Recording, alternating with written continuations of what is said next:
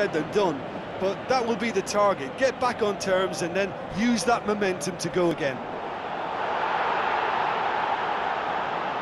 Wonderful from Roberto Firmino! And the second half is off to a flyer.